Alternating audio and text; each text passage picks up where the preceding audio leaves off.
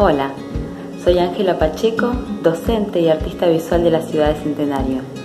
En esta oportunidad me quiero sumar al saludo por los festejos de los 100 años de Centenario.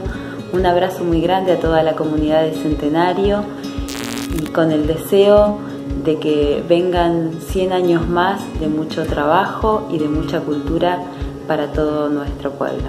Muchas gracias. AUC, somos todos.